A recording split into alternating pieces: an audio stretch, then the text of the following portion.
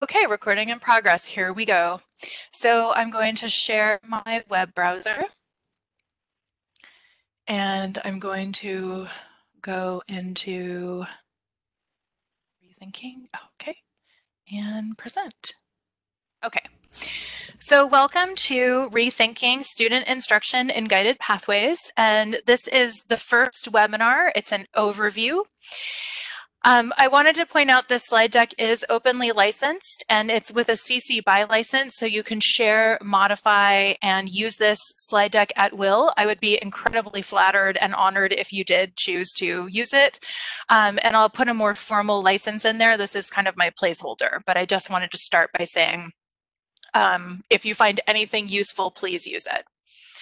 Um, and I've also included a short URL to this slide deck um, so my name is Jen Whetham. I am the program administrator for faculty development at the state board, and I am in the assessment, teaching, and learning department. Um, and this is a not super great formatted picture of my supervisor, Bill Moore, who's our director, um, and Jackie Epler Clark, our exceptional educational specialist. And then there's me when I had longer hair.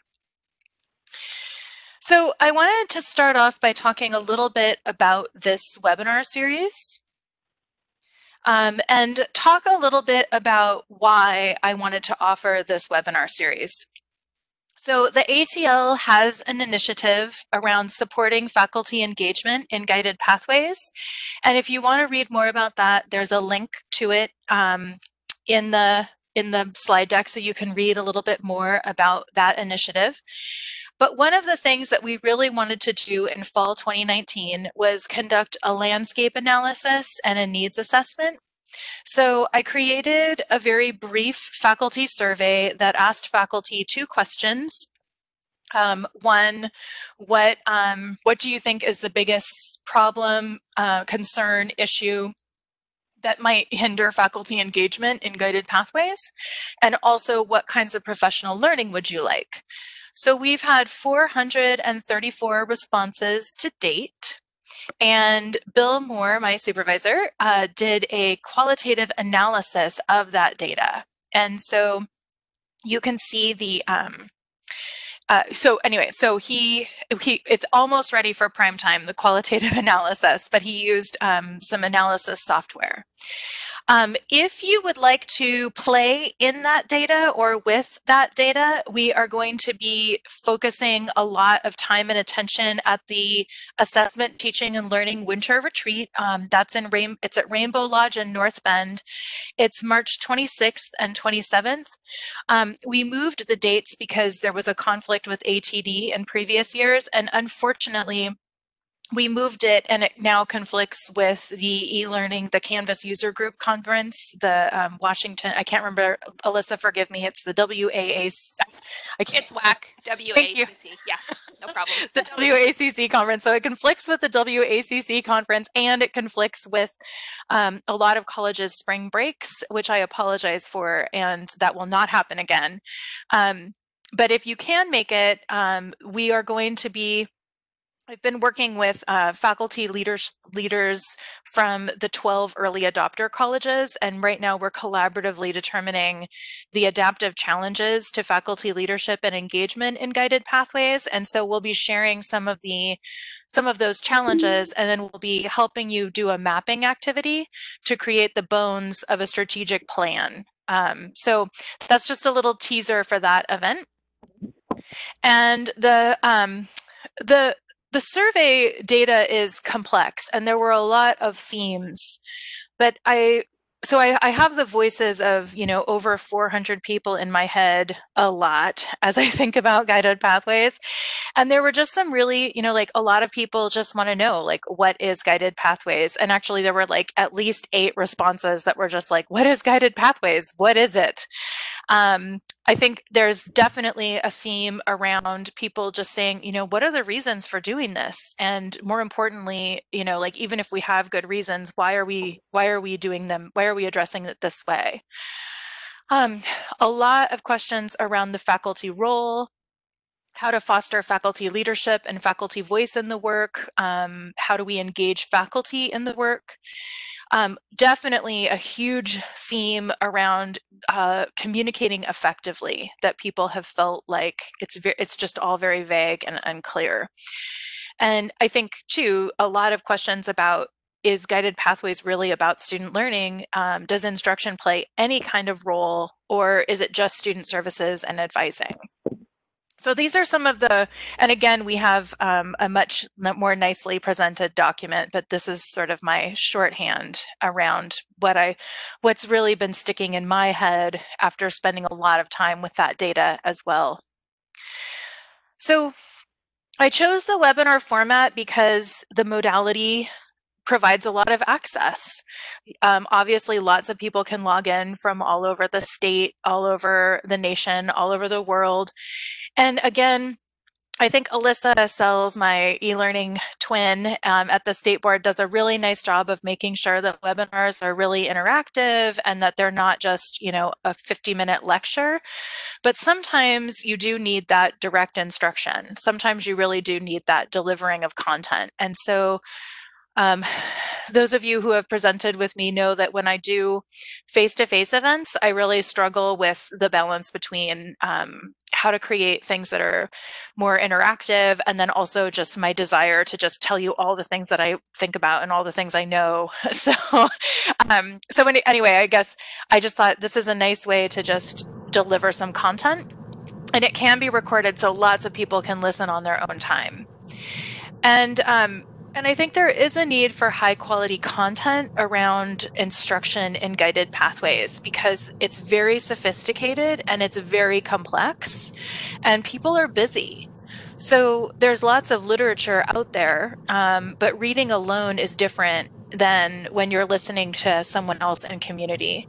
And I'm just going to stop for a moment and just say hear some background noise. And so I'm just going to return to um, if you are not muted, if you could mute yourself. Um, and I'm just going to quickly mute all again. So, um, and Alyssa, you, could you do me a favor? Could you just be monitoring the chat for me and just pause me if there's anything? Sure, I got just a little bit of feedback on your mic just now. I don't know what changed. The feedback, um, I'm hearing an echo of my own voice actually too. Me too. Too. It might be what you muted. I'm gonna unmute. I'm gonna unmute. Um, if you make me a co-presenter real quick. Fantastic. Sure if you can do it from yeah. I'm glad that they are, they are setting it up. We're not so late is exactly the kind of if everyone can mute themselves. Oh, I did it yesterday. Nice. Yeah. Let me just check my. Everyone, take a moment to mute. To receive it by the seventh. We do have a bit of. I'm going to mute everybody again. So hopefully we can still have the um, okay, so sorry for the tech uh, difficulties, everyone. I really apologize.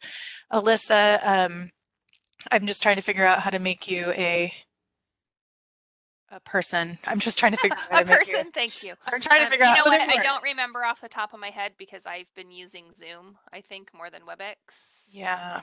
Um, just a second. Let me just make you a Alyssa, and making you a okay. I can't do it right now, but you can't you can't see the chat. No, I can see the chat. I just if if I was a co-host or a co whatever moderator with you, I'm able to help mute microphones and things. Oh, I see. Okay. Well, I'm just gonna I'll, I'll, I'm just gonna go back to presenting, and we'll. You do that. Yeah. Okay. Sorry about that. Okay. No worries, but I'll monitor the chat. Thank you, thank you, thank you, thank you. Okay, so um, one of the reasons I also wanted to do a webinar is because I really love words and I really love ideas. And I am a huge bookworm and I read a lot and I really, really miss those reading collectively moments from the classroom. I really miss the way that I read with students. Um, you know, and again, there's lots of like those of you who are trained in reading apprenticeship know that as you are developing literacy skills, you are also really doing, you're also internalizing and grokking content in a way that's really unique and special. And so I'm really hoping that this webinar series can be a way to read collectively. And again, really hoping that that after this webinar series, you will want to go back and reread the sources that I'm quoting from. And again, I love slide decks. They remind me a lot of writing poetry. Um, I don't write poetry anymore, but I do make slide decks. So, um, and I can hear someone. Um, if so, if everyone could just make sure that they're muted, that would be great. Um, so I also um, do read feedback and I do try to improve. And so if you love the webinar series, if you hate it, um, if you're somewhere in between, please let me know um, because I really do want to give you good, high quality professional development. And so I have a, a form that I will paste into the chat for you um, in just a moment. So um, I know a lot of people have to leave early. I know some people can only be here for a limited time. And so I wanted to start with um, there's been a couple requests in the survey for this webinar and in the survey um, in general, the faculty survey. People would love an elevator pitch for instruction in guided pathways. And so I respectfully um, give you this passage and this, um, when you look at the slide deck, this is 18 point font, so it's not accessible. Um, it's not, this is not a best practice in design. But in the guided pathways model, faculty define the skills, concepts, and habits of mind that students need to achieve by the end of their program and map out how students will build those learning outcomes across courses. The college emphasizes a learning facilitation approach to instruction which focuses on building students' academic motivation and metacognition. And the college systematically supports faculty in developing and improving this approach using a quote, collaborative inquiry framework. Instructors work closely with librarians, technologists, and student services professionals to design courses that incorporate innovative approaches to teaching and learning. Technology is recognized as a valuable tool for learning, but it is leveraged as part of a larger pedagogical toolkit and approach.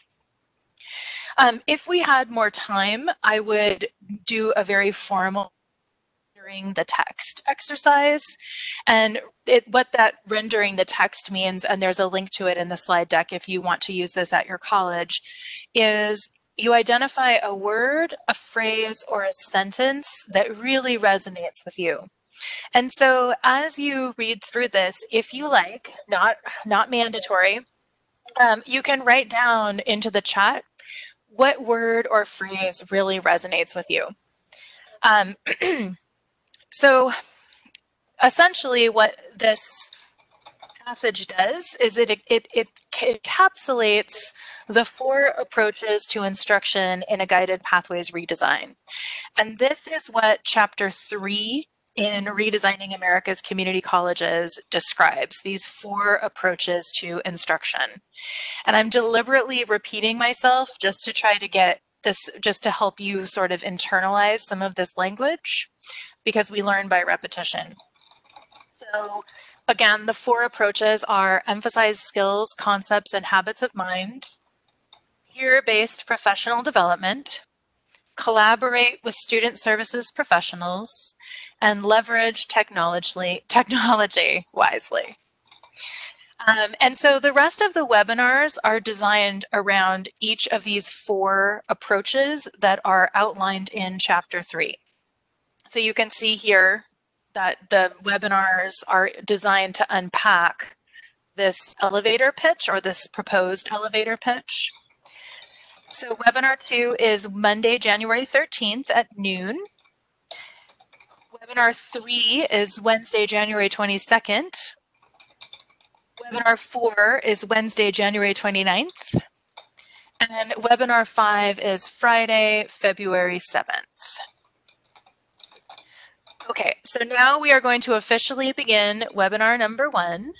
And I can hear someone typing. And so if everyone could just uh, just try, I've, I've, I've muted everyone with my facilitator control and I just don't think it's working. So if everyone could just take one moment and um, mute themselves. And Alyssa, I'm just wondering before we officially begin, are, is there anything in the chat that I should know about or pay attention to? Um, I haven't seen anything come in. Just one question, how do we mute? And I can just go ahead and answer that. Um, in the participants panel, probably on the right side of your screen, just find your name and um, click your microphone icon. So that should um, mute or unmute you depending on what you're trying to do. Thanks, Alyssa. Yep. Appreciate you. So um, I did have folks register for this webinar. And I really wanted to see the current level of guided pathway knowledge of about guided pathways so that I could try to design responsively. And as you can see, most of us feel like we're at a three in terms of knowledge about guided pathways. Um, so I just thought that was an interesting, um, I just, I, I like, I like stuff like this. Um, and I also um, asked everyone to just say, what do you hope to know and be able to do after attending this webinar? And when I last checked it about an hour before the webinar, there were 137 responses. And I did include a link so that you can read the responses, and I sent that to all of you in an email, and it's here on this slide deck. Um, but I just selected a few of them as kind of learning outcomes for what I hope to do today and throughout this webinar series. So you want to know, you want to have a better understanding of how GP works best for students. Love that one. More about guided pathways, what it means for faculty and students, and how it will benefit learning. And I love that this person capitalized learning. Um, Amen. Discover how faculty can support and shape guided pathways toward a research-based initiative that supports student success. I thought that was just, I love those verbs of supporting and shaping. And uh, one person, I love this. I am co-chair for a work group working on guided pathways. I am interested how um, the state board is messaging the faculty role in this huge restructuring of our colleges. And I am too. Um, I I sometimes forget that I, I, I don't ever forget that I work at the state board, but I was thinking, yeah, I'm doing this webinar, and so um, so I guess it just made me feel like the um, the the mantle of delivering the message. So uh, thank you for that. Um, thanks for that reminder. Um, I hope to learn about, and then what people wanted to do with that information. I hope to learn about effective strategies for engaging faculty. I want to help my fellow faculty on my core team explain what roles we play, know what guided pathways is and how and there were a lot of people that this was a big theme in the um, in the survey data what people were really interested in how can i support faculty how can i help faculty from my role and there was a instructional designer and at least one faculty professional developer. Um, and I'm just going to stop for a moment and just say that I can hear some noise. And again, um, I'll just try again to mute you um, or to mute everybody. But if people could just make sure that they're muted, and I apologize that um, the tech is not really cooperating with me today. So, um, and then implemented guided pathways, but I find faculty are un unclear about their role as related to instruction. Our campus has mostly focused on the faculty advising role. So really, how do we further engage faculty? How do we further clarify their role? And there were tons of other beautiful responses. Um, and so I, I really spent a lot of time collating them and organizing them into themes. Um, so because again, like I just really want to be a good professional developer and very carefully about how I can provide um, instruction that or support that really helps all of us. Okay, so now I'm going to move into the direct instruction part. and there are four design pillars for guided pathways. And I'm sure that if we were in a face-to-face audience, I would say, how many of you have heard of the four design pillars? And you'd all raise your hands and maybe we'd do some sort of like, um, you know, we do some sort of like standing up to show like how how familiar you are with these pillars. Um, and so I'm just going to spend a few minutes going over what they are. And I do want to say that there are four instructional approaches recommended by the authors of Redesigning that we're going to unpack in this webinar series. And there are four design pillars that were later, that, um, you know, early on, these were created by the American Association of Community Colleges. And so I know that's confusing. There's four instructional approaches, there's four design pillars, there's four of everything. But I do think that the four design pillars are really useful. And again, this is my best thinking about how to explain the four. So the first is clarify the path for students. And in this, faculty map out academic programs to create, quote, educationally coherent pathways. We're going to touch on what educational coherence, educationally coherent and incoherent means, but we're going to do a deeper dive into that in webinar two, when we talk about metacognitive skills, concepts, and habits of mind. And each pathway has clearly defined learning outcomes that build across the curriculum and that align with requirements for further education and career advancement. And again, we're going to touch on this today, um, but we're really going to do the deep dive in the next webinar. Um, get students path. Uh, students are guided to choose a pathway, and this is based on interest in a discipline or field of study. So um, I remember when Jan Yoshiwara, our executive director, was talking about guided pathways really early on. She was like, um, you know, if a student comes to you and they don't know what they want to do with the next, you know, 10 years of their life or so, then what are they interested in? And a student might say, oh, well, I've always liked art. You know, I've always liked psychology. I've always been interested in sociology. I think there's tons of uh, uh little kids. Uh, uh I'm, I'm not making this up. I really think a lot of people would love to be an anthropologist if they weren't talked out about it, talked out of it because I know that when I was growing up, I was like, Dad, I want to be an I want to be an anthropologist, and he was like, There's no money in that. So in this model, I could say, I want, I love anthropology, or I think I might be interested in anthropology, um, and then be directed towards a pathway. Um, and then career aspirations. We do have a lot of students who come to us and say, I want to be a respiratory, I, want, I can't, it's great that I can say it. I want to be a respiratory therapist, or I want to be an educator, or I want to be um, whatever the field is. So again, um, I, I think the way that guided pathways sometimes gets shorthanded is it has to be about like know your career. And the way that I've always heard it explained is not that's not the case. It can just be interest in a discipline or a field of study.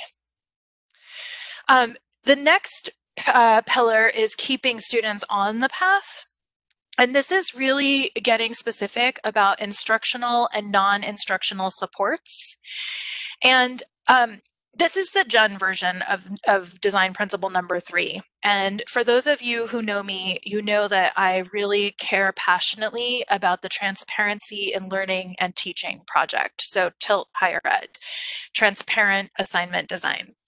And one of the things that I really like about TILT is that it's really based in the three most important predictors of student success. And these are robustly proven with a, plethora of research. Um, the first one is academic confidence. The second is sense of belonging. And the third is sense of gaining employer valued skills.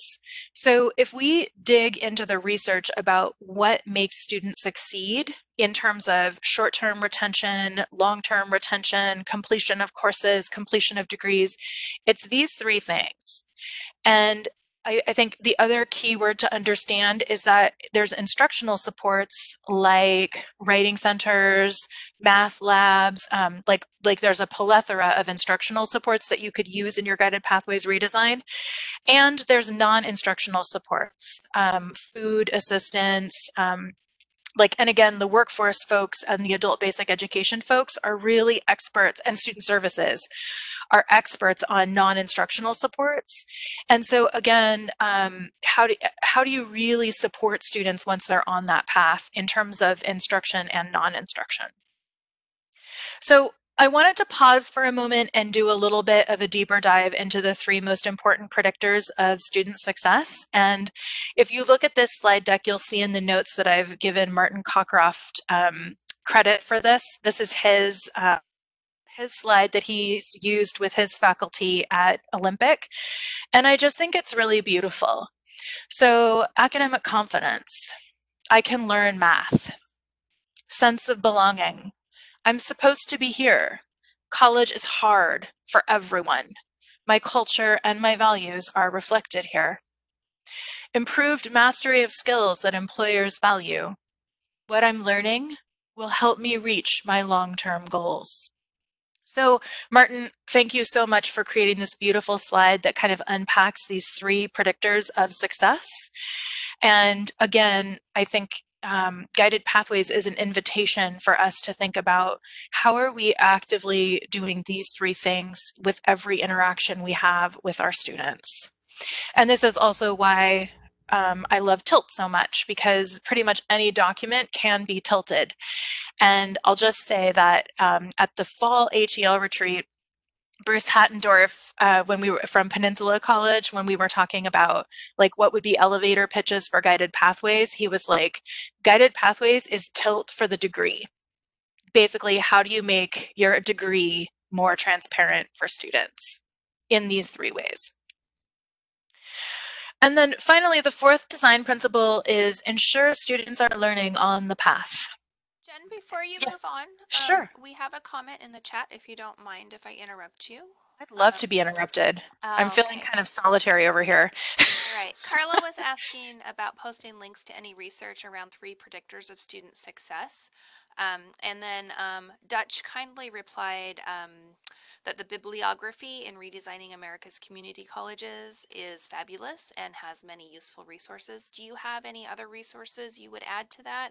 Or do you have a place where you're like accumulating those types of things that we could have access to later or that you could share out? I love this question, and I'm just wondering if you could send me a quick email and remind me to send everyone on the list um, the bibliography for Tilt.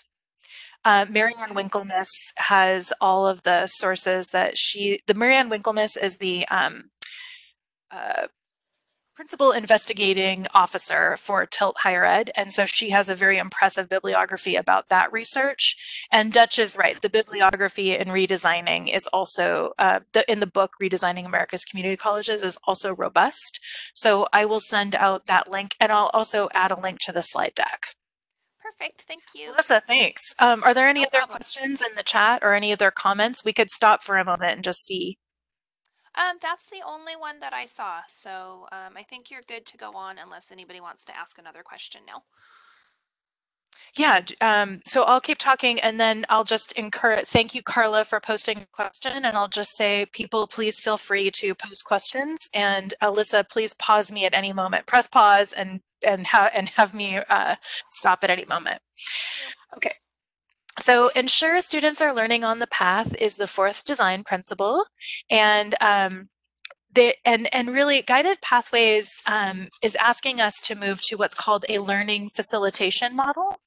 And again, I'm not going to have time today's in today's webinar to unpack what that means. We're really going to unpack that in the next webinar. What is a learning facilitation model?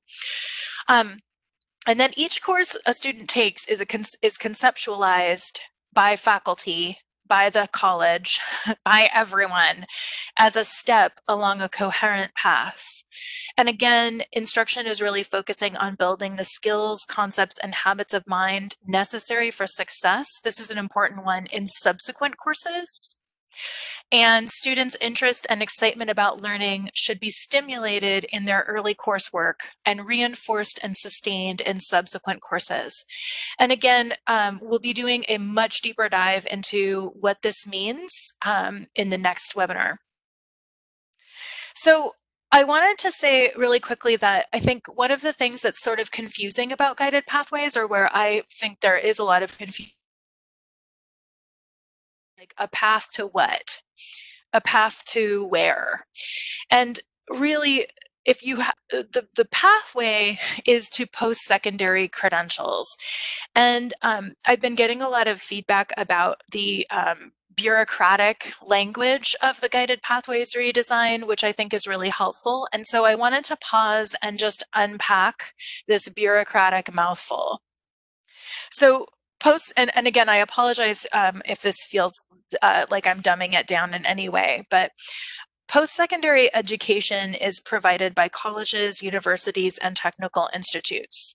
And an individual's post-secondary education is represented by what we call credentials and or in higher ed speak they call them credentials. And it's an umbrella term for a variety of different degrees. So there's the aa there's the aas there's the ba there's the bas there's the ma there's the phd uh, is getting um, a master's in psychology right now and he wants to be licensed clinical um, he wants to work with patients and so he has been really struggling with like what's the right credential is it a master's is it a um, like there's there's so many different terms in psychology for practicing uh, therapists.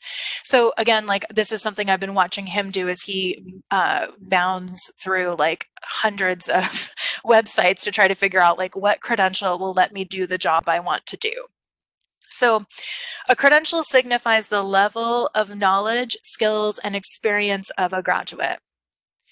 And there's lots of ways to talk about why credentials are important. Um, but I chose this um, this data from the Bureau, Bureau of Labor Statistics. Um, median weekly earnings in 2017 for those with the highest levels of educational attainment, so doctoral and professional degrees, were more than triple those um, with the lowest level, which is less than a high school diploma. Workers with at least a bachelor's degree earned more than $907, uh, more than the 907 median weekly earnings for all workers. And also, the higher the level of education, the lower the unemployment rate. Now, again, I could have given you a lot of different data from a lot of different sources to talk about why credentials are important. But there's one comment from the survey that's in my head where somebody said, you know, like, why are we doing pathways when we can't predict what students will be doing even two years from now. Like, we can't predict what kinds of jobs will be available. We can't predict the labor economy. Most of our graduates will have like six different jobs in different industries. So, why are we focusing so much on career? And I, I, I, would just argue that we're not focusing necessarily on careers as much as we're focusing on credentials of getting that high, getting people the highest level of credential they possibly know that translates in no matter what your field that um, income. And I'm not saying that we need people with higher incomes so that they can all become, you know, like I, I don't I, I don't even know how to talk about it except to say that for a lot of our students and for a lot of people in Washington state, they do not earn a living wage they can't even afford to work because they can't afford childcare. There's so they can't volunteer their time. Um, they can't buy healthy food because they don't have a living wage. And that's really, and again, this is the John Whetham version of it, but this is really what this is about: is about equipping people with credentials so that they can enter the workforce in ways that will help them pursue the kinds of lives that they would like to live with their families. So um, Jen, we do have a question um, Sure. from Bob. It says Bob. in guided pathways, credential is defined as degree question mark, or could also be um, a certificate of completion or an STTC question mark. So, Bob, that is a great question. And I'm going to ask you if I could cover that in a moment because I actually have a slide about that. Um, so, is it okay if I answer that in a moment? There's a slide. There's a slide for that. um, and thanks for asking that. Thank you for asking that question. So, GP Guided Pathways in general is asking us to put our collective attention on four credit programs that lead to post-secondary credentials. This is not to say that we don't have non-credit programs. This is not to say that we don't have other kinds of credentials, but again, it's really about four credit programs leading to post-secondary credentials. So in um, so Guided Pathways um, is asking us to look at two key areas in terms of that. Um, sorry, I just want to say one thing really quickly. So I am actually doing this webinar from my parents' house because um, my my internet is out today, like conveniently out on the day that I am hosting a webinar for 179 people that will be recorded. And my mom just asked me if I wanted a cup of tea. So I said yes. So anyway, so I just wanted to give you, if anyone was noticing a weird thing with silence, it was because my mom dropped me a note to ask if I wanted a cup of tea.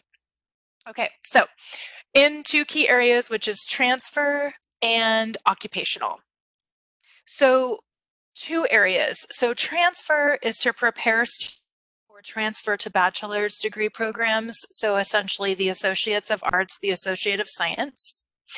And in occupational, it's to prepare students for direct entry into jobs. So occupational certificates and applied associate programs.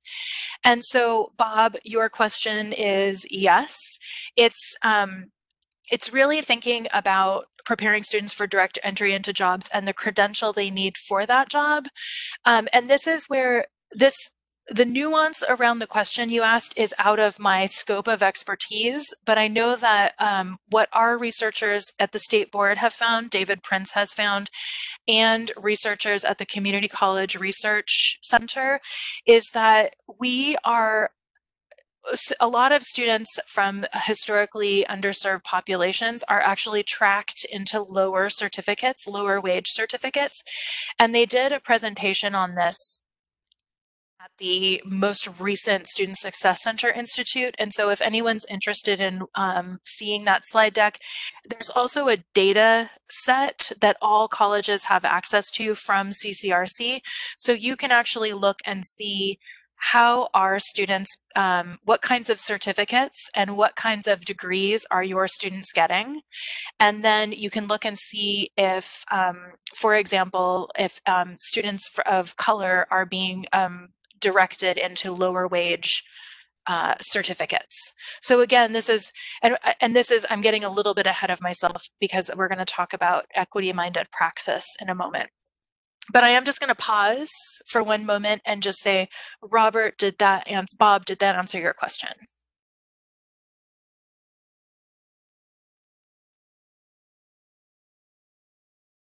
Yes, thank you very much. Oh, cool. Okay, good, good. Um,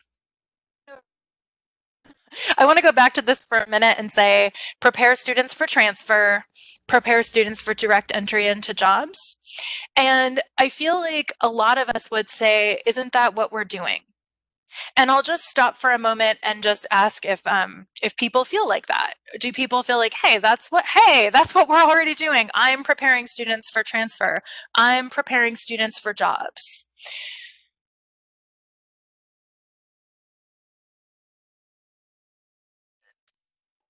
How would you like people to indicate their agreement? Oh, oh, Uh, they Could they, their hand or um, put it in the chat. yeah.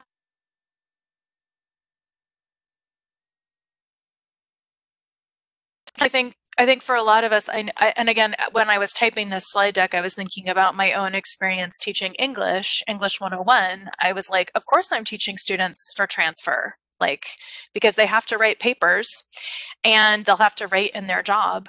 And of course I'm teaching students for work because, uh, you know, workplace writing is so important. Um, so I, I guess I, I just, the reason I, I wrote this is because I wanted to honor that this is what we're doing already. And Guided Pathways is asking us to make two really big shifts in how we are doing that work of preparing students for transfer and preparing students for work. So one is what I'm calling equity-minded praxis, and one is what the authors call focus on programs, not courses. So Equity-minded praxis. Um, I wanted to start with a definition of the term equity-mindedness. And this is from the Center for Urban Education. And it is the perspective or mode of thinking exhibited by practitioners who call attention to These practitioners are willing to take personal and institutional responsibility for the success of their students and critically reassess their own practices. It also requires that practitioners are race conscious and aware of the social and historical context of exclusionary practices in American education. And again, um, I, I, actually I wanted to go back for a moment. Equity-minded praxis is actually a term that the state board is using in our description of guided pathways. And so I wanted to stop and slow down for a minute and just explain what that is. Um, and then the definition of the term praxis. So Dr. Deborah Jenkins of Clark College, uh, th this is me paraphrasing her, praxis is the intersection between theory and practice. And Freire defines praxis in Pedagogy of the Oppressed as reflection and action directed at the structures to be transformed. And I, I like that reflection and action directed at the structures to be transformed. So with that in mind, one way to talk about the big problem that Guided Pathways is trying to solve is that open access to courses in organizations of higher education does not equal equity of program completion. And we're going to talk about that today in a lot more detail because there's a lot to unpack um, in this statement. So this is from the authors of Redesigning America's Community Colleges, where they say, our argument can be simply stated. And again, for the people who asked me for elevator pitches, like I was totally thinking of you the whole time. Like I'm really trying to find you elevator pitches. Community colleges were designed to expand college enrollments. And they talk a lot about what that means and why they think that um, in the book. But essentially, community colleges of a historical era were designed to expand enrollments, particularly among underrepresented students, and to do this at a low cost. They have been extraordinarily successful in achieving those goals. However, colleges designed to maximize course enrollment are not well designed to maximize completion of high quality programs of study. And again, we'll be talking a little bit more about what we mean by a focus on courses. But again, I, you know, when you think about the way that we have conversations around enrollment, it's always about course enroll. Well, not always, but course enrollments are a big to us in higher education in community in open access community colleges. We make a lot of decisions around course enrollments. Um, I wanted to take a minute to un unpack the term underrepresented. Um, I do prefer for equity work um, two terms coined by Dr. Deborah Jenkins of Share the Flame and also of Clark College, um, systemically dominant and systemically non-dominant populations. And if you're interested in reading more about what those terms mean and why they're more precise for equity work, I've included a link to her um, explanation.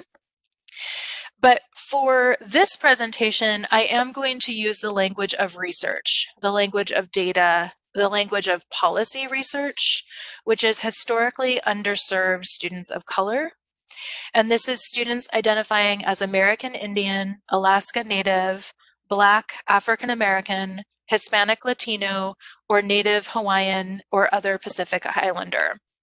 And again, I, I want to be really clear that we are really narrowing in on this is the population we want to serve better. This is our focus. And I have more words about that in a moment. Before we do that, I'd like to do some equity-minded praxis.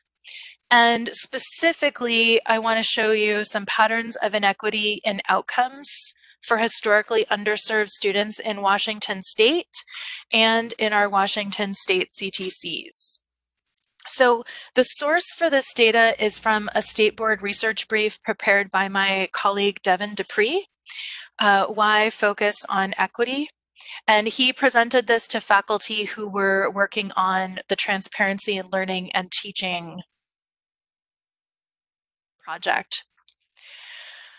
So the first thing that I wanted to show you are gaps in college attainment for 25 to 44 year olds in Washington State. So you can see here that non-historically underserved populations, five out of 10 have a college degree, two have some college, and three have no college. So you can look here and you can see that for historically underserved populations, two out of 10 have a college degree, three have some college, and five have no college. And again, this is a Word version of the data. And if you click on the links included in the slide deck, you'll be able to see some really nice graphics around this. But I am not a visual person. I am a Word person. And, so, and also, uh, uh, uh, I, just wanted to show it to you this way. Um, in terms of these indicators of our Washington State community colleges, historically underserved students of color were less likely leave our community and technical colleges in Washington State with a post-secondary credential. So again, you can see the gap here that for non-historically underserved populations, 37% leave with a post-secondary credential, and for our historically underserved populations, 29%. Um, in terms of earning outcomes, you can see that historically underserved students of color who did not leave with a post-secondary credential or transfer, who started a job with a salary of at least 30,000 a year. So, oh, um, Oh, so you can see that actually, I think my data, I'm so sorry about this. I was moving between slide decks. Okay, so this is this is the correct number. So for non-historically underserved populations, it's 14%, and for historically underserved populations, it's 14%. So there isn't a gap there. Um, in terms of transfer, historically underserved students of color were less likely to transfer or your university institution without a post-secondary credential. So again, there's a gap there, 12% to 10%. But here's the one that I, this is the one that I think is really compelling. So in terms of the historically underserved students of color who did not leave with a post-secondary credential, they did not transfer, and they did not start a job, with a salary of at least 30,000. So for non-historically underserved populations, that's 47%. For historically underserved populations, that's 37%. And actually, I'm just going to check my data here because I think I got those numbers mixed up and I really apologize. I, I spent a lot of time on this slide deck, but you know, sometimes you get so close to something that you can't um, look at it well. So, so um, I hope that you, I think you can see this, gaps in student outcomes in the year. So the students who, um, so again, there's a 10% gap here um, between historically underserved students of color and other students, a 10% gap with, with all three of those outcome indicators. And that is, um, this is really what we want to focus on. And Alyssa, did you want to, is there any comments? Yep. Yep, sorry. I was just about No, to interrupt you, but you, you were you were keeping going, so I was going to wait a second. Um, No, no, that's great. there is a question from Jeanette in the chat, and she's asking, did the last statistic about credentials also address types of creden- credentials like certificates versus um, AAs? But I'm not sure which slide she was asking about. I think she's asking about um, leave it, This one this one, leave with a post-secondary credential. And again, slide, she says. yeah, again, there's, um, I'll just look for a moment at the handout just to see. Um, I, but again, like our researchers would be able to answer the question around the deep dive in terms of what kinds, but I'm pretty sure for post-secondary broad umbrella term. Um, so Alyssa, I'm just wondering in your list of Jen's things to do, could you make a note that I will check with our researchers about a precise and accurate answer to that question? Sure. And um, to add to that list, um, maybe we could just share out that entire document. Yes, yes, it's it's it's in the slide deck. Um, so Okay, when it's on the slide Yeah, deck, right, everybody will have Okay. access to it.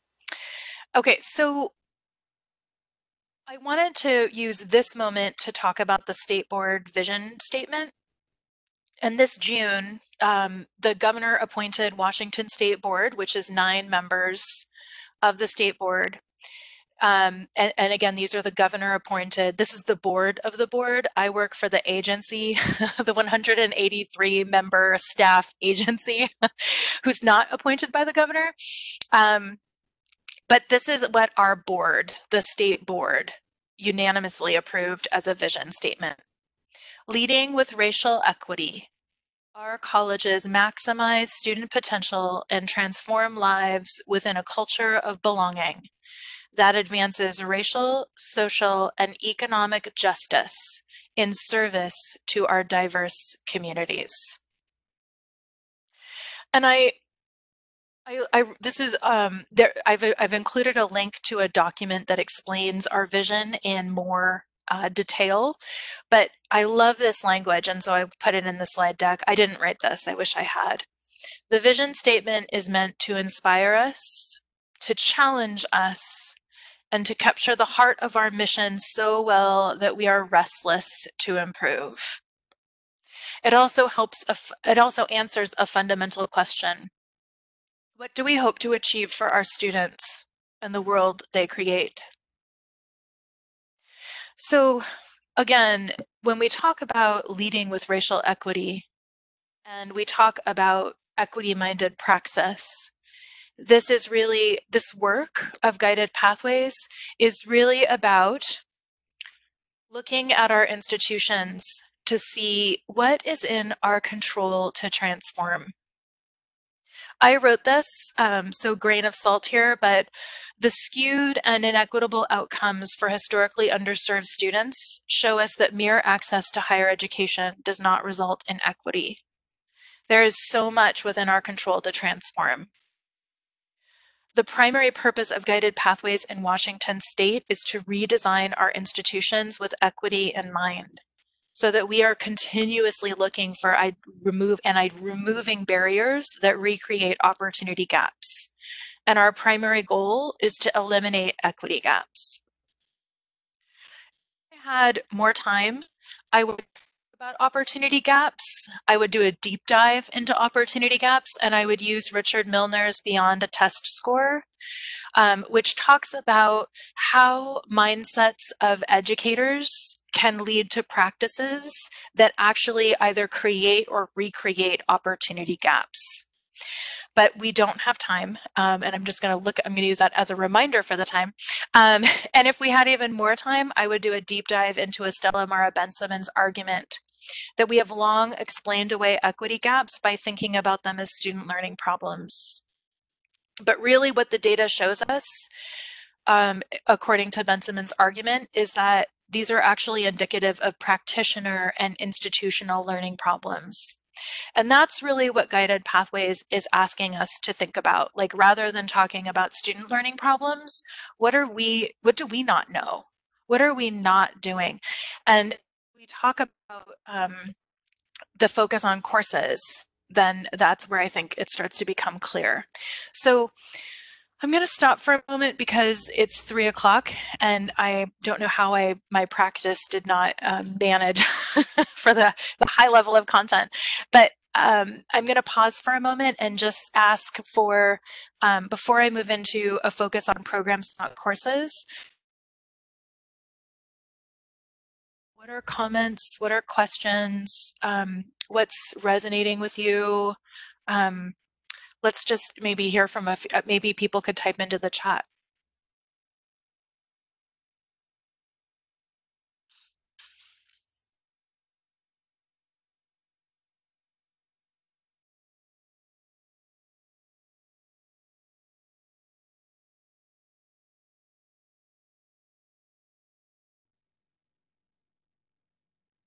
Jen, do you need me to read the chat to you or can you see the chat from yeah, that would be awesome. I think I think also the other thing that I would love is to know like I know a lot of people have to leave at at 3 and or after an hour, but I still have more content to go through and I'm wondering how people would feel if I if I moved on to the to the focus on what it means to have a focus on programs rather than a focus on courses.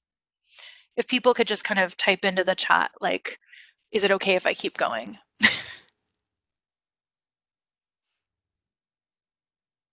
Lots of yeses coming in. Okay, cool. Thank you. Okay. Oops. Great. Okay. So um, here, sort of elevator pitch from the authors of Guided Pathways of Redesigning. Colleges need to engage faculty and student services professionals in creating more clearly structured, educationally coherent program pathways that lead to students' end goals.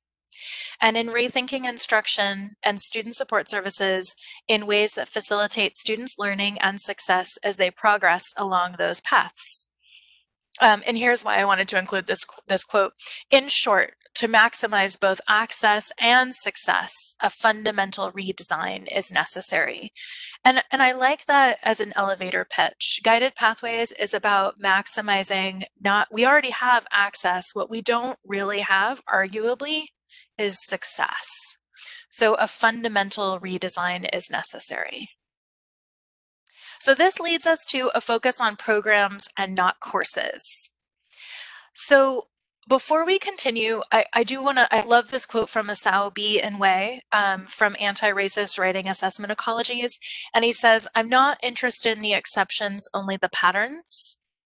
As a culture, we focus too much on exceptions, often believing ourselves into believing that because there are exceptions, the rule no longer exists, or that it's easily broken by anyone with enough willpower or chutzpah.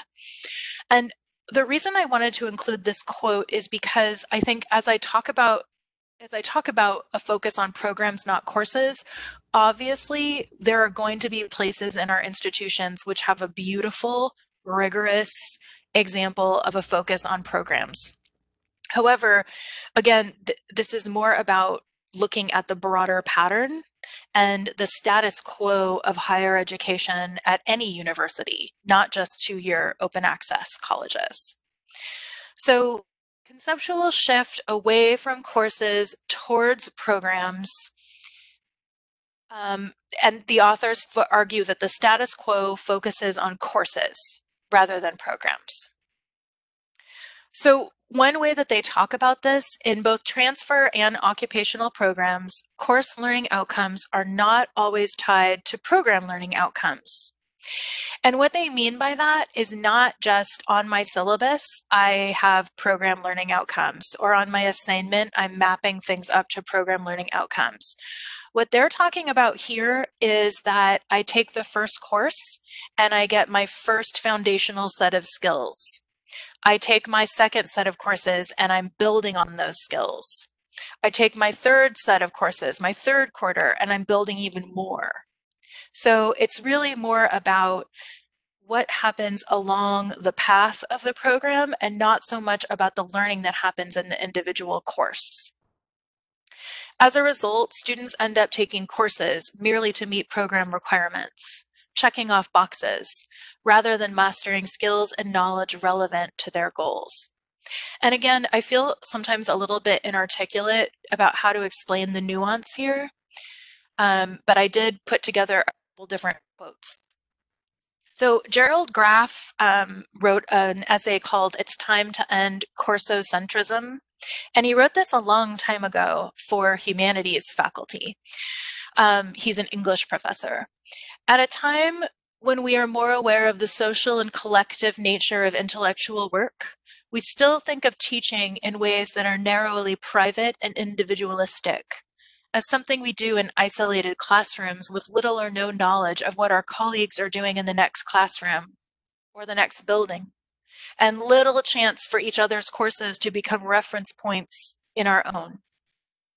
Indeed, we betray our assumption that teaching is by nature a solo act in our unreflecting use of the classroom as shorthand for all teaching and learning.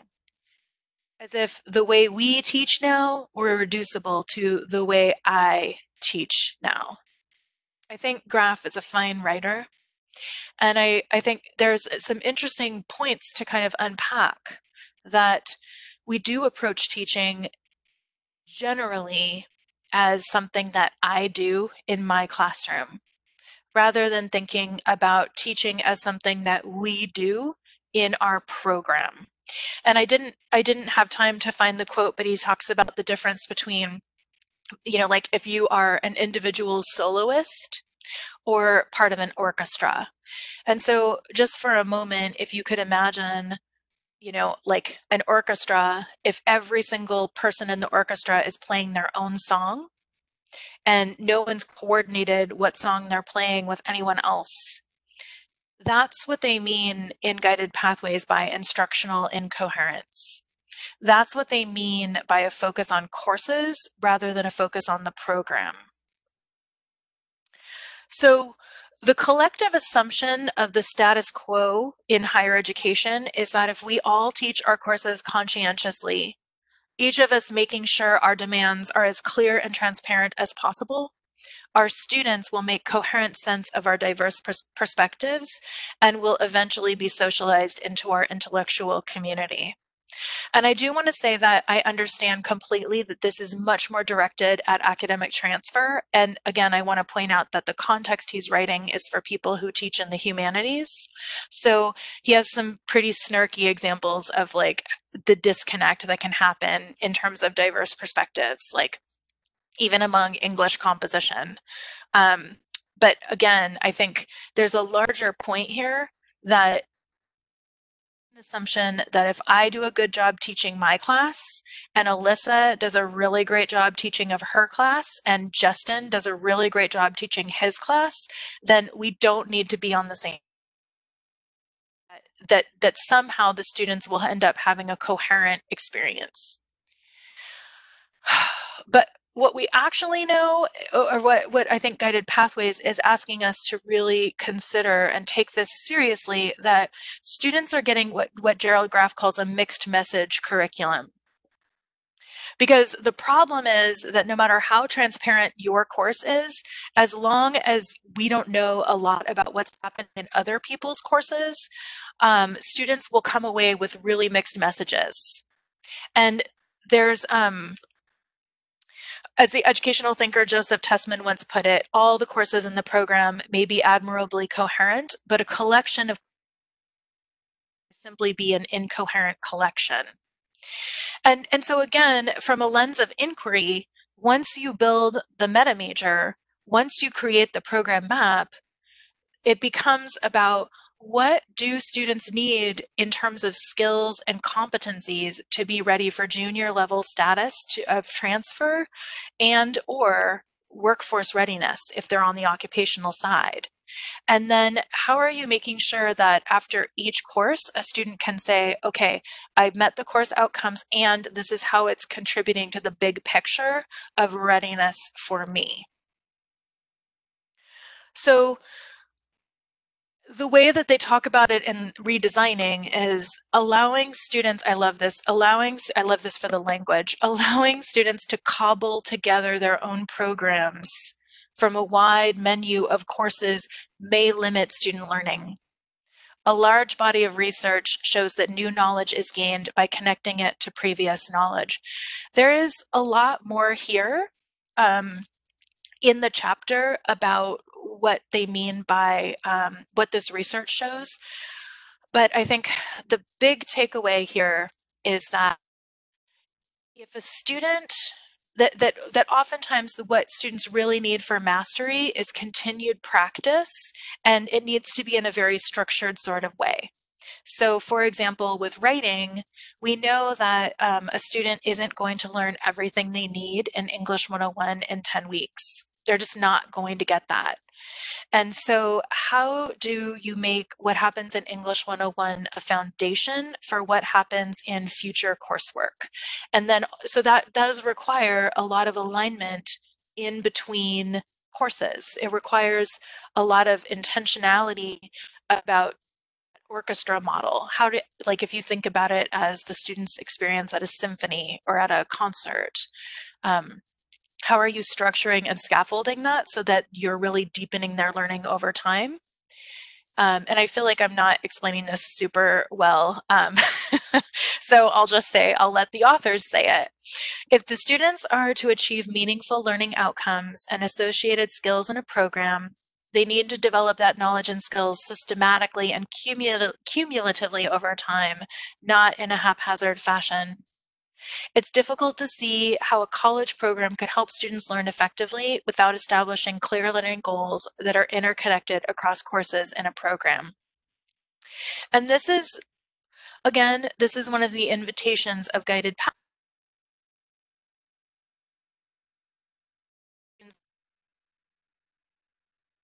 over time and not haphazardly. Because if you do give students a huge individual courses and let them sort of develop their own programs, you can't guarantee that they're going to get knowledge and skills systematically and cumulatively, not in the focused way that junior level status requires. Um, and I didn't have time to put this in the slide deck, but there's an example of University of Arizona in uh, redesigning, where they talk about how before guided pathways, students from Maricopa Community College had transfer status, but they didn't have major status. They didn't have major readiness status. So they worked out maps, I think they called them maps like MAPPS maps with University of Arizona between Maricopa and University of Arizona so that students knew with each course, okay, I'm this much closer to junior level status in my major. And the authors describe that very compellingly. So I think um, it is now 309. And what I'd like to do in webinar two is talk more about um, what it means to have a focus on a program by talking about the key shifts of a guided pathways redesign.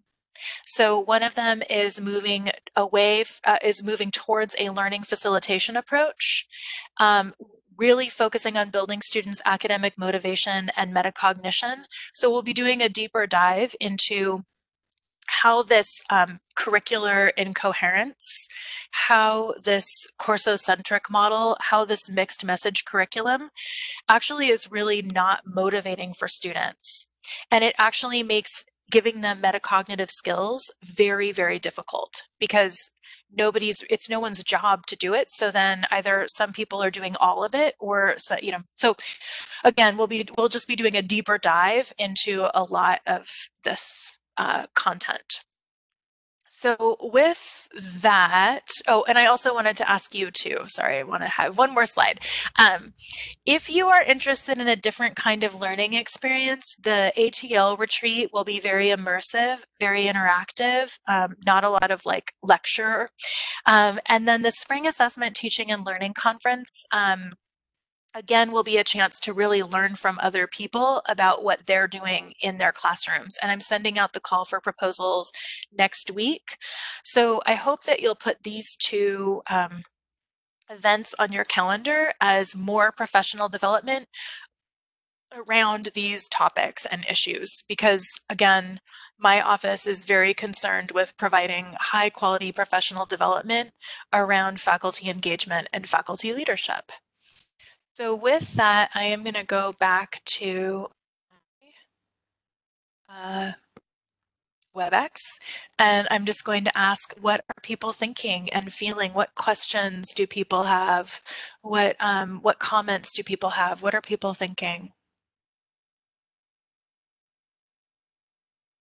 Actually, I'm seeing that people are writing things in the chat, which makes me so happy. Um, Alyssa, as you've been monitoring the chat, what are you thinking about? Um, do, what what do you think should be highlighted? Thanks for putting me on the spot, Jen. Uh, I'm still a little just overwhelmed with everything. My understanding of um, guided pathways is very limited, which is one of the reasons why I'm coming to all of your webinars. Um, so actually, I, I, I, I, found my footing. I found my footing. This is perfect. Okay, so from Olympic College at 308, a faculty member wrote, cobbling together my own program didn't learn, limit my learning.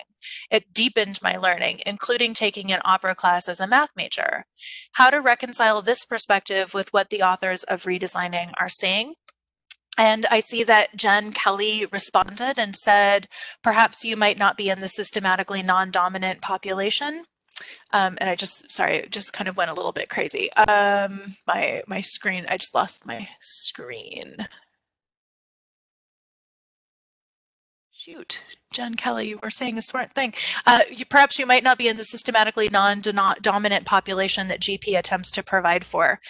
Um, in other words, perhaps cobbling works for some, but not all. I knew it worked for me, but I had a lot of opportunities and privilege as well. Um, um, and then a faculty member follow up. How does restructuring address the equity issue? Not seeing the connection. So I, I would really love to just take a moment and pause and just say the first thing that people are having this robust conversation and I'm I just want to honor the question and the feedback the comment in response. And I guess what I would say about this is that again we're not talking about the exceptions here. We're talking about the larger patterns and we are particularly talking about students who have experienced major, major opportunity gaps um, as a result of being in a lower socioeconomic income bracket, um, experiencing systemic racism in the form of um, like and, and again this is where i think a deeper dive into milner and a deeper dive into benjamin is helpful um, and also the article from Gerald Graff also talks a lot about why, um, yes, you're right. For some students, this does work. For some students, they thrive in the chaos of a mixed message curriculum and they do have the metacognitive skills, concepts, and habits of mind to succeed in a to make coherence out of incoherence. And so I think it's really, really important to know that we're talking about the large numbers of students who are not getting credentials. We're talking about the large number of students who leave because the incoherence is just too much for them. And I feel like I'm not saying this super articulately, but I would ask that um, if you're interested in um, why, like the, like reading Gerald Graff, I think is a really interesting um, reading Gerald Graff is a really interesting way to talk about this. So um, I'm just looking in the chat about um, what else is happening. What else is happening? Um, uh, there's a quote from uh, Dutch about Dutch Henry from Shoreline. We have to see our students and their experiences rather than our own. Um, Dutch, that's really beautiful. Um, thank you so much for that comment. And yes, you're absolutely correct. Um, and Dutch also wrote, one of the challenges we face is that we succeeded in a system that doesn't work for most students. And Dutch, that's absolutely correct.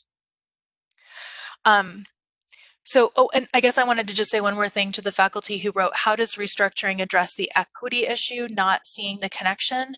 So one of the things that's really important is that every college is looking at its own data with equity in mind and that you're thinking about where are the barriers that it, where are the barriers in our structures and our systems that are um, that are that are creating these gaps. So again, it's really about it's a very individual thing in terms of the institution because each student each each each campus's demographic is so radically different from each other that what equity, what the restructuring will look like on your campus will really depend on your equity gaps and how thoughtfully everyone looks at those gaps with an, with an eye towards what are the practitioner learning things here? What are the institutional learning things here?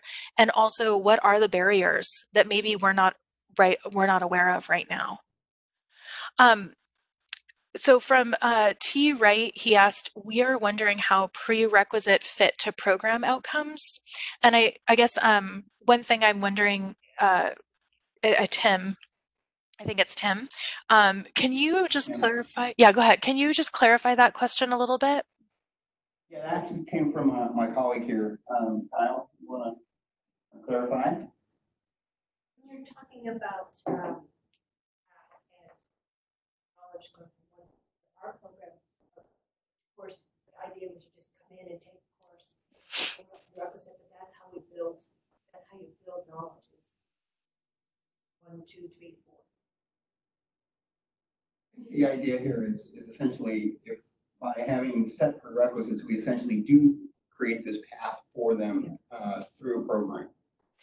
I would, so there's a whole chapter in Redesigning America's Community Colleges around, like, and I guess I, I just want to be clear that prereqs are more like, do you have college readiness by taking English 101 so that you can take SOC 100? Is that, that's what you're talking about? You're not talking about like the dev ed math sequence. Is that correct? More, uh, for me, it's business and we, the way we've set ours up, because we want to get as many students in. We don't have prereqs, like business one oh one should be your prereq for class. Marketing should be, that's not, because we're trying to just fill classes and not worry about learning, I guess. And so I, when we were talking about the equity in that, it made me think that we should add prereqs. So one thing about, about the prereqs is that um, prereqs, I think are are are sort of an add-on to what when when we don't have pathways for students. Prereqs are sort of how we try to. Prereqs are sort of our shorthand, our institutional shorthand, because a lot of times prereqs are actually barriers um, like if a student is really interested in sociology and they have to take English 101 first and the English 101 isn't connected to the sociology, then the, then the course might not be as meaningful for them. Um, so I think part of part of the reason that they're calling so hard for the program maps and for the for the coherence model is because then everything can be contextualized and and again strategically developed. So because you're in business you actually might have more of a pathway than you think. Does that make sense? Like i think some some programs some some departments are more programmatic than others like business for example. Like so again i think for you it might be more uh, tweaking to the pathway um, to say like these are so but rather than calling them prereqs you're just outlining like okay they're to the students will take this contextualized english 101 their first quarter so they learn the principles of business writing.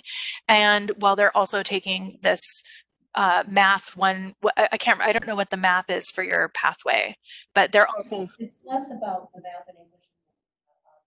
Yeah, you don't do prereq, you suggested, it's suggested to take business one oh one before international business, because otherwise you're starting, missing a bunch of. Instructors are reteaching. So I think we could do a better job there, we could start there, even before we get into that. I love this example and I, I love this imagining around it. And thank you, thank you for that example. I now now I'm thinking about like the business, like yes, exactly exactly right. That's that's exactly what I think they're talking about is yeah, if if you know that it's better for a student to take a certain course at a certain time, you know, schedule it that way in the in the maps. Um, so I, I'm just looking through the um, uh, so, so there was another comment from Olympic. Uh, can you point us to evidence that it is the incoherence that isn't working for them rather than other factors? And this is a great, great point. And I just want to acknowledge that for this slide deck, I purposely focused on the incoherence because that's the thing that's within the faculty control. Um, there are, in the chapter, they also describe a multitude of other factors that aren't working um, for students with our status quo. And so the, the incoherence is only one subpoint of a lot of other points. So um, whoever said that at Olympic, fair point.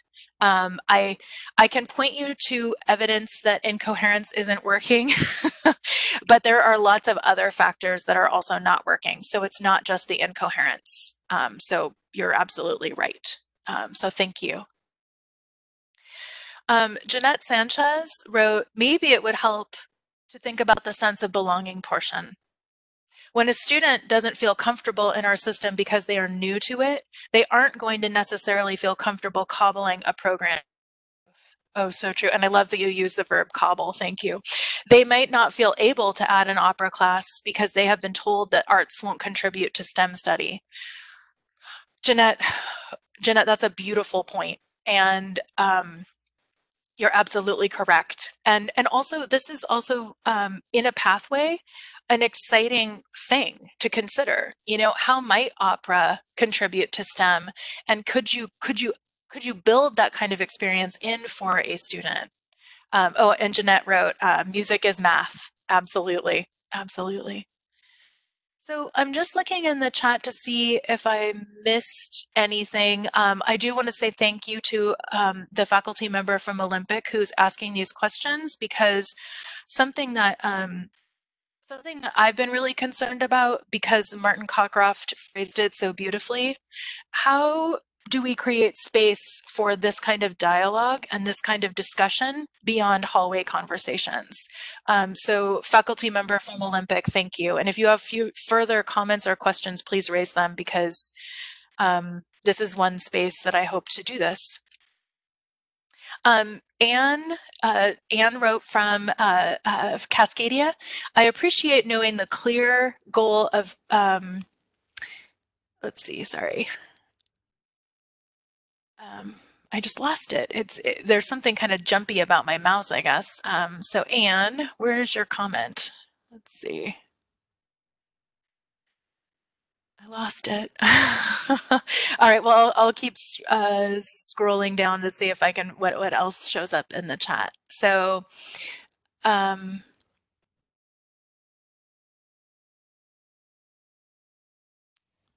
let's see.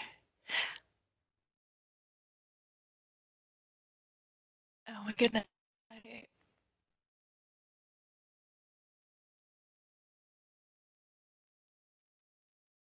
Oh my goodness.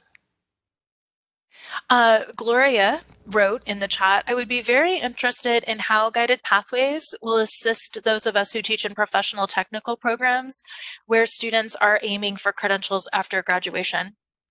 Our programs are already per se guided pathways.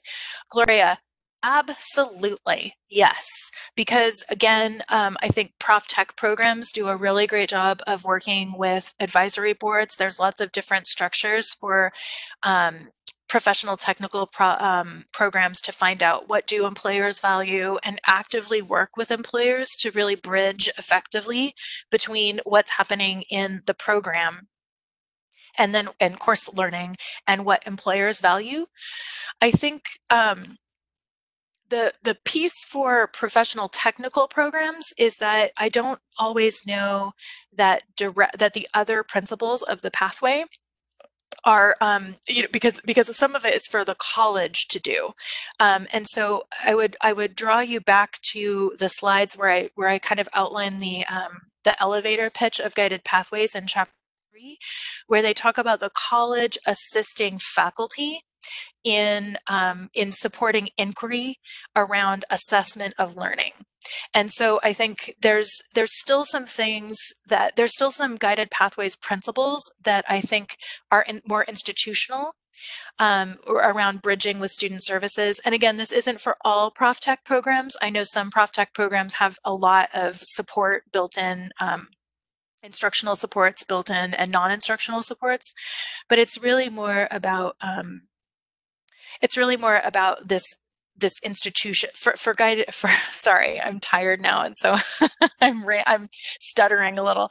For professional technical programs there are other aspects of guided pathways that i think still relate and could and still could be improved. Um, and so but again it, it's going to look different at different programs um, I found Anne's comment. I appreciate knowing the clear goals of guided pathways, guide students to transfer or direct entry into jobs, and the clear emphasis on historically underserved populations and racial equity. Knowing that's an emphasis and those are the goals are going to help faculty. And um, thank you so much for that comment. I really appreciate it. And let's see what else people wrote. Um, Bridget had a comment about backwards planning a whole program. And um, there's another comment from Olympic that was earlier, some conversation here about relationship between equity gaps and streamlining student credit degree acquisition because they can't afford to wander seems like a shift in the guided pathways focus.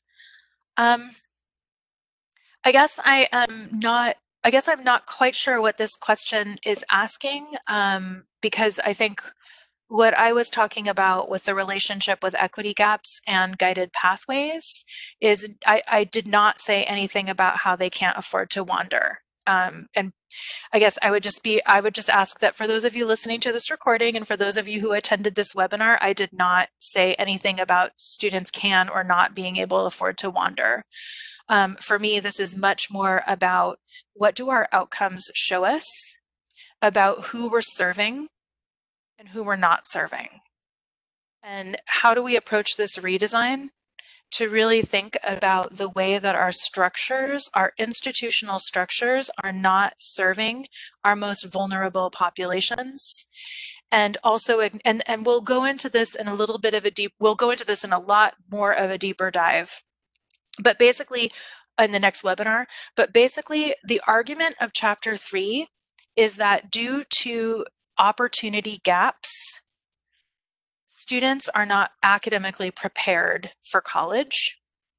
And so the status quo has developed a lot of workarounds for students who are not college ready. And so and, and again like really looking at the student learning problem like really it's it's really asking us to take a different approach to student student readiness and how we shape instruction around readiness or not or this this concept of ready and not ready. And again it's a complicated conversation because there's a lot of deficit in the notion of students not being ready for college or or quote unquote being ready for college. But given the opportunity gaps that many of our students from historically underserved populations suffer um, or experience, uh, it's really asking us are are our institutions recreating opportunity gaps or are we trying to address those head on and so that is um, that's really important um, so I, I, see another uh, note from Olympic. What we believe after listening to you is that our administration has not really presented guided pathways as you have today, but as a way to expedite students through their programs. We have received a very different message here than you presented today, and we like yours much better. Well, thank you. Um, I have spent a lot of time sifting through the guided pathways literature for the last five years and I too have not been happy with the way that sometimes guided pathways is messaged. And that's not a critique of anyone's administration. Um, that's more a critique of our cultures of higher education where we don't have a lot of time to process things. So for those of you who have been to the state board, you know that I have a little cubicle. Um, I call it my ivory cubicle. And I don't teach classes and I don't have any direct reports. And I only work with faculty and people who are really uh, passionate about professional development. So I have a lot of time to sift through literature and then think about how to message it. And so I really appreciate that. Thank you so much. And um, and I also have access to conversations at the state board with really, really smart and amazing people. Um, our director of research, Darby Kaikkonen, um, has really created a robust infrastructure of data um, and evidence that I have access to. And um, so I, again, like, one of my challenges in this role is to figure out how to make sure that after I learn something that I effectively share it with other people um, because I I believe in this work um, I, I, believe I believe in guided pathways, and um, one of my colleagues was asking me, um, you know, like, do you have any hesitations about guided pathways? And I don't actually, because I believe in what happened. I, I believe in the power of a collective attention and I think that there is something really magical that has never happened before in my entire time in the Washington State CTC system, where our entire focus is around how do we reorganize our systems, our policies, our structures to remove equity gaps so that more students get to their goals. And how do we do that with a with an with an equity lens? Um, it's very exciting work, and I get to do it with really beautiful people like you. So, thank you for coming today. Um, thank you so much to all of you for making the time to uh, to be with me. I hope that this has whet your appetite for the second webinar on metacognitive skills, concepts, and habits of mind. Um, I'd like to do, there, there's a lot more to talk about, um, which is why I'm glad we have more webinars. And um, and I also want to say thank you for your patience with me. Um, I, have spent a lot of time working on this slide deck and I was like, is this the right content? And I was telling some people uh, before we started the webinar that I, um, last night when I went to bed, I had the slide deck kind of finished and I was like, it's all wrong, it's all wrong. So I woke up this morning and like just went back at it again. So thanks for the privilege of getting to share this information with all of you. Um, if there are no other questions or comments, I'm going to stop the recording.